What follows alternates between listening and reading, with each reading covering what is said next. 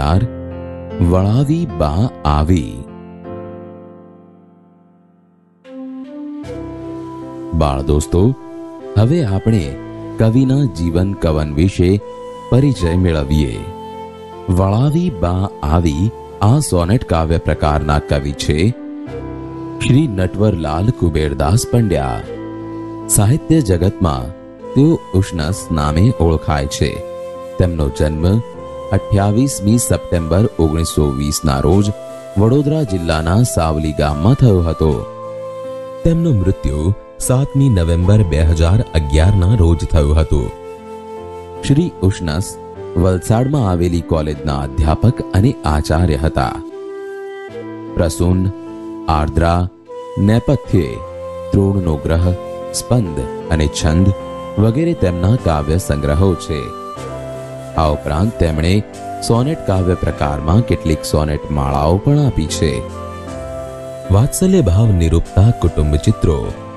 ગ્રીષ્મ અને વર્ષાના મનોહર પ્રકૃતિ વર્ણનો અને કાવ્યમાંથી સ્ફૂરી રહેતું ચિંતન તેમના કાવ્યની નોંધપાત્ર લાક્ષણિકતાઓ છે.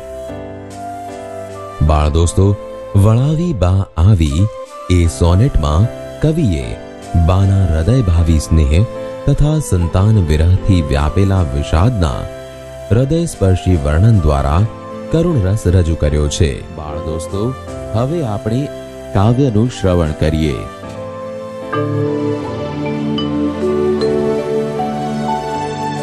રજાઓ દિવાળી તણી થઈ પૂરીને ઘર મહી. हाडा केरी स्खलित थई शान्ति प्रथमनि। वसेला धार्थे दूर सुदूर सन्तान निजना। जवाना काले तो जनक जननी ने घर तणा। सदाना गा मा स्वरूप घरुए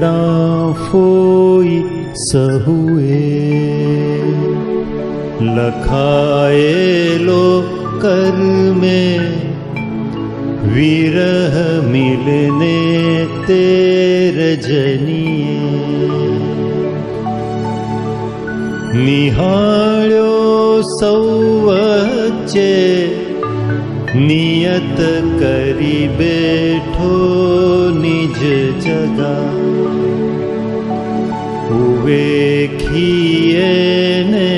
सौ झरठ ब ते सुया सवारे भाभिनो भर्यु घर लई भाई उपड्या। गई अर्धी वस्ती घर थई गयू शान्तसु बपोरे भाई अवरपुपड्याले निजनी नवोढा भार्या प्रियवचनमन्द स्मितवती। वळावी बावी निज सकल संतान क्रमश। गृहव्यापी जोयो विरह परिबेसी पगति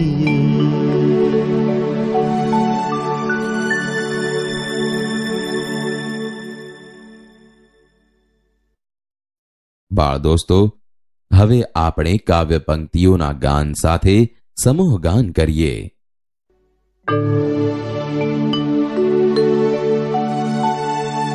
રજાઓ દિવાળી તણી થઈ પૂરીને ઘર મહી. દહાડાઓ કેરી स्खलित थई शान्ति प्रथमनी वसेला धार्ते दूर सुदूर सन्ताननि निजना जवाना काले तो जनक जननी ने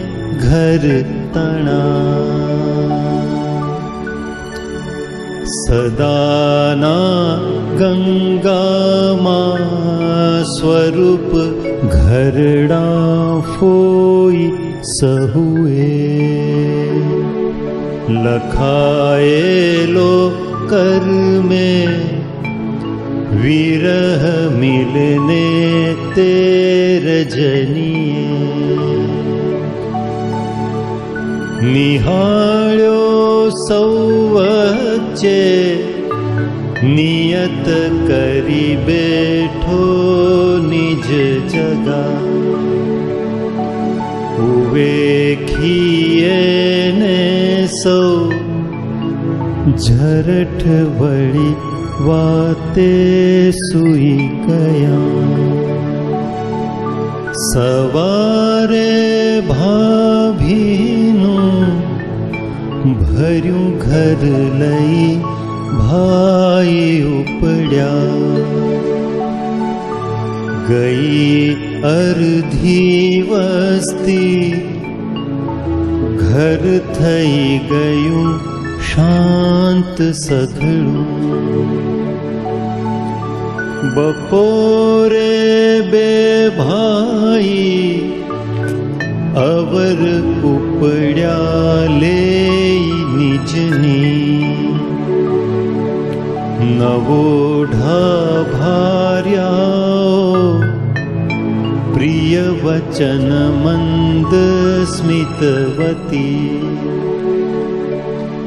वळावी बावी निज सकल संतान क्रमशः।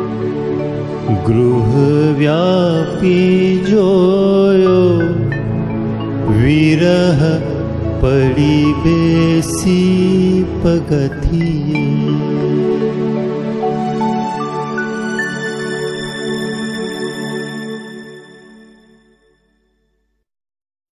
બાળ દોસ્તો, હવે આપણે કાવ્ય પંક્તિઓ જોઈને સમૂહ ગાન કરીએ.